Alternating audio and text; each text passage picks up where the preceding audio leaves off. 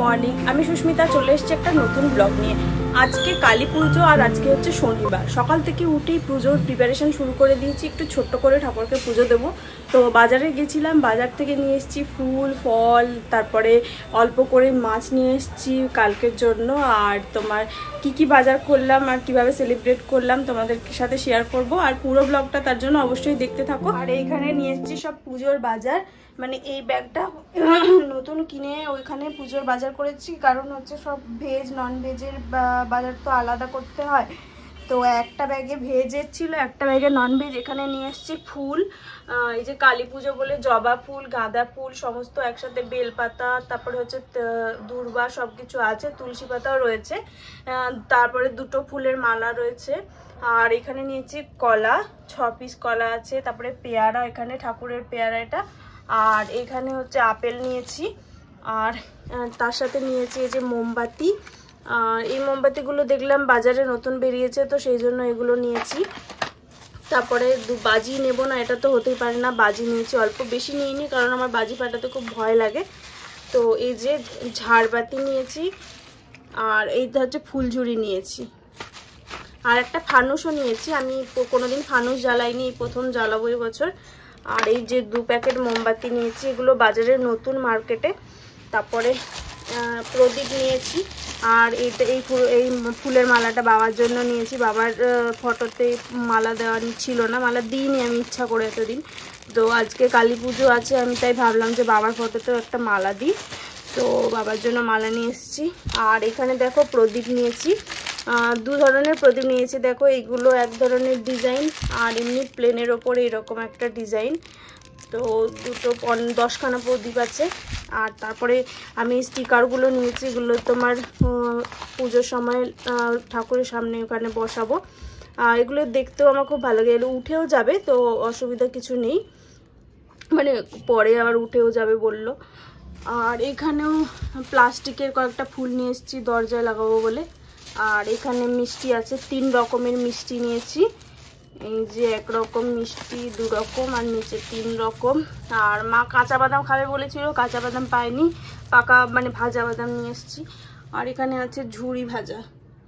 তো এই হলো পুজোর বাজার। ছোটোর মধ্যে ঠাকুরকে পুজো দেব।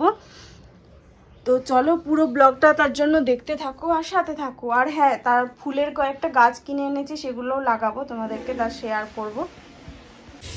মা এখানে মাছ কাটছে, প্রচুর মাছ নিয়ে এসেছি দেখো। এই গাছগুলো মার্কেট থেকে কিনে আনলাম আজকে। দুটো গাঁদা গাছ রয়েছে আর একটা জবা গাছ রয়েছে। প্রত্যেকটা গাছেই দেখলাম ফুলও আছে, কুঁড়িও আছে আর গাছগুলো বেশ তাজা। কয়েকদিন মার্কেটে খুঁজছিলাম, পাইনি। তাই আজকে যেই দেখলাম মার্কেটে, অমনি আমি নিয়ে চলে এসেছি। তো মা বকাবকি করছিল যে গাছের টব কেনা নেই, মাটিও নেই, তো কোথায় লাগাবো? তো ব্যালকনিতে গিয়ে দেখলাম একটা পুরনো টবে কিছুটা মাটি ছিল। তো ওই মাটিটা না জল না পেয়ে পেয়ে পুরো সেই শক্ত কাঠের মতো হয়ে গেছে। আমি ওটাতে জল দিয়ে মাটিটাকে নরম করে এই দুটো হ্যাঙ্গিং টব ছিল আমি, পুরনো। তো ওইগুলোতে এই গাছগুলো ট্রান্সফার করলাম। দেখি গাছগুলো আজকে তো ভালোই দেখাচ্ছে। কদিন পরে না হলে বাজার থেকে দুটো নতুন টব এনে আর কিছুটা মাটি এনে আবার নাহলে একটু লাগিয়ে দেবো। এই দেখো কত সুন্দর গাছগুলো বসে গেছে। একটা গাছ অবশ্য একটু নেতিয়ে গেছে হয়তো দুটো দিন পরে একটু টাইম তো লাগবেই, দুটো দিন পরে দেখব যে কেমন আছে।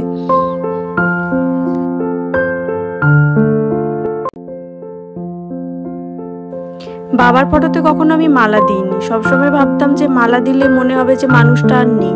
তো তবে আজকে এই কালী পুজোর জন্য মা বলল যে, না, এতদিন হয়ে গেছে, দু বছর এবার বাবার ফটোতে মালা দিই তো সেই জন্য বাজার থেকে আজকে একটা মালা নিয়ে সে বাবার ফটোতে পরিয়ে দিলাম।